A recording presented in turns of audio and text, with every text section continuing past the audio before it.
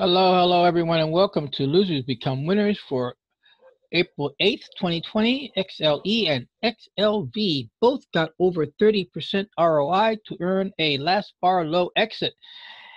In addition, XLP exited with 10 days of 4% profit. Let's go look at those numbers, and here we are. XLP got in on the 30th of March, got taken out today, got in at 15. Remember, one contract's 100 shares is fifteen hundred and five hundred fifteen dollars. Got out of five forty, twenty-five dollar profit.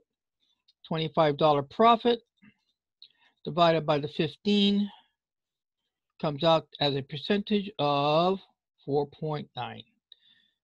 Pretty good in ten days. Not the greatest, but hey, we've seen better, right? Okay, that said, here's more important: is XLE is at eighty percent. Let's go over it. Oh, here's the XLP chart. We did set the uh, exit at the 30-day moving average to protect profit. Done. Let's move on to XLE. Now, XLE has been very uh, good. And here we go. So uh, we got 80%. We're at last bar low. That's what that means right there. Last bar, the low of that bar. That's my exit for tomorrow if it turns against me. If it doesn't, keeps on going, great. we're shooting for 1300 return and we're only at 570. But remember, rocks become pebbles, pebbles become profit. Profit does payback and we get retires to the winner's circle. You've seen it for the last six, eight. I think we just completed seven months, starting our eighth month. Pretty cool. All right, that said, let's go on to our next leader. That's XLU. And XLU is right here and zoom in a little bit closer to see it much better. There it is. And this is only at a 4% profit. So that's considered that is profit zone. Anytime that this turns to a positive, that's a profit zone. And the stop has been moved up now to my black value line. I don't have anything else. We're looking for an anticipation of getting up here. We get to our 30% um, marker will be able to last bar low also. So there we are for the Tigers account.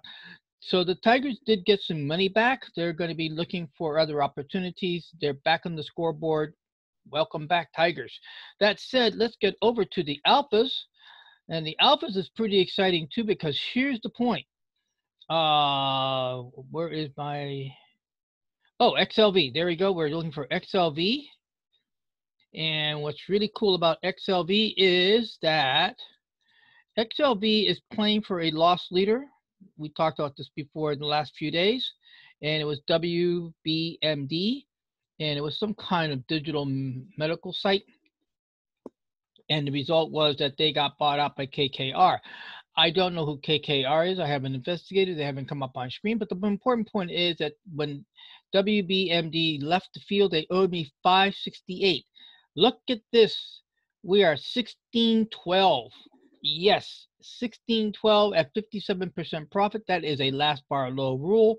We are last bar. If we get turned around and between here and here, and if we lose maybe three, four hundred dollars, as long as we get out above 568, we're going to have ourselves a retiree to the winner's circle, and the lost leaders will drop by one. That said, let's go on now to MXLC. And now XLC is also playing for a dead loss leader. That dead loss leader is Ctrip. Ctrip was a digital site about traveling. Uh, I'm not sure exactly what their business was, but I know that was it was involved in traveling. And when they went off the field, they owed me 1036. We are now sitting at 500. So we are 536 short of getting out on.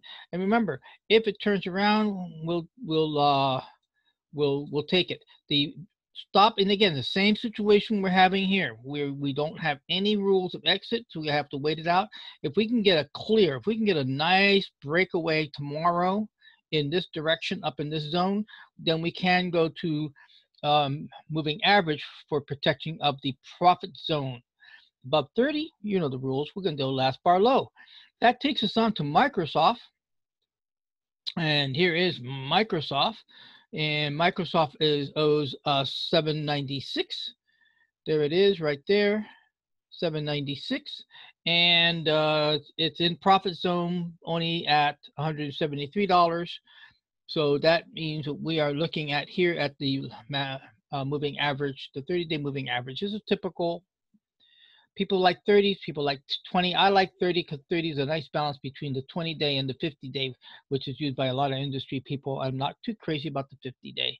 A lot of far away stuff. Coming up to our last leader of the day is iwm iwm is running here. Now this is an interesting point. I drew this last week.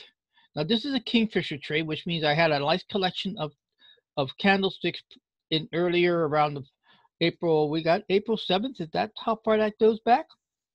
And the, um, no, it happened today. Yesterday. Ah, this morning we got triggered. but you see, I, I was predicting a move and uh, sure it went this way but it didn't come down and go up that's what my that's what i was getting, getting jazzed about my drawing uh, and we're at uh, oh it was 420 on microsoft i apologize so actually microsoft is only 300 and something dollars short uh, IWM is 173. So 173 for um, for IWM, and the stop is set here at the dipper. We're doing a we have we took on to the dipper, and the other ones are lagging behind DIA and WUABA. They got a pretty penny up here in buying power, so we'll see what happens tomorrow to set that up. And with that, I thank you very much for checking out Losers become winners for April 8th, 2020. And happy trading. Be safe, be happy, and please share with this with other people who are in need of knowing that there is a way of making an income in these dark times. With that, I thank you and God bless. Be well. Bye bye.